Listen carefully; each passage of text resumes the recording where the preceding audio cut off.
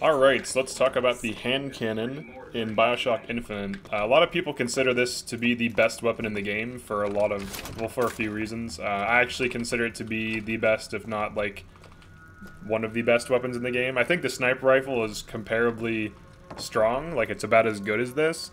Uh, the big difference is the sniper rifle has an insane zoom, and with the fire rate upgrade, it fires about as fast as the hand cannon, and both can deal one-shot headshots against most opponents, uh, killing them in one hit. Uh, so the hand cannon is primarily used to one-shot headshot enemies.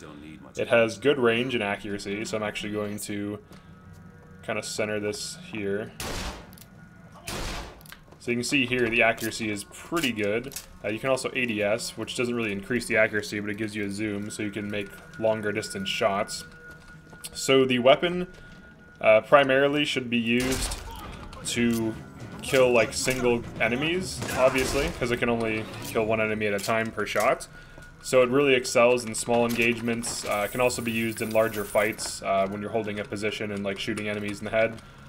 The main downside of this weapon is that it cannot hit multiple foes at the same time, so if you're getting overwhelmed, you're going to have to rely on Vigors or a secondary weapon. Like if there's like five or six enemies pushing you, um, unless you like kind of move like behind something, like let's say enemies are running through here, you're kind of like moving behind this as you're killing, like shooting them. That's totally possible. That's definitely a viable strategy.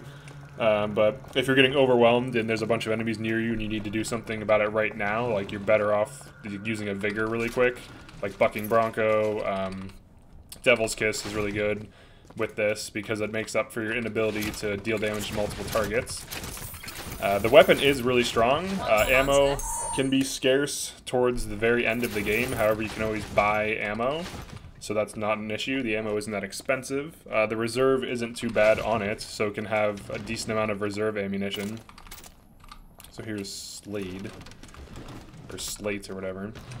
Uh, so, should you invest in this weapon? Uh, you definitely can. Uh, this and the sniper rifle are very similar. Uh, the difference is the sniper rifle can zoom in very far, and the hand cannon is by default without any upgrades better at like closer ranges. However, once you get the fire rate increase on the sniper rifle, you do have access to a fast rate of fire, which makes it just as good as the hand cannon uh, for close range. They're both uh, like basically 100% accurate.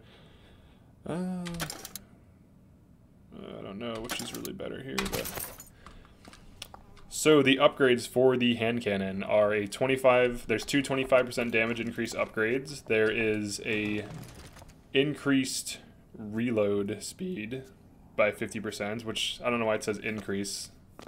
Um, should be decreases reload speed. Uh, that It's actually worded increases. Um, and then there's a 20% decrease in recoil. Uh, the decrease in recoil I don't even recommend getting because the recoil on this thing is not even that bad. I mean, by the time you can shoot again, your shot basically recenters, so I wouldn't really worry about that. I would just use it as is.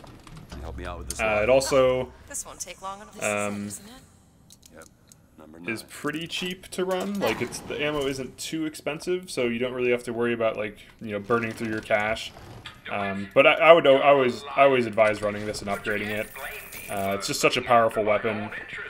Uh, if you don't want to run this, run the sniper rifle. They're really similar, but yeah, the main downside is that it can't deal with multiple foes easily. Unless you're extremely accurate, and you land every single headshots and hold angles well. Uh, but it can it can be used in this way. You just have to be really skillful. So it's it's one of the weapons, one of the few weapons in the game that has room for like a, like a huge amount of like skill ceiling. Like it has a higher skill ceiling than uh, most of the other weapons.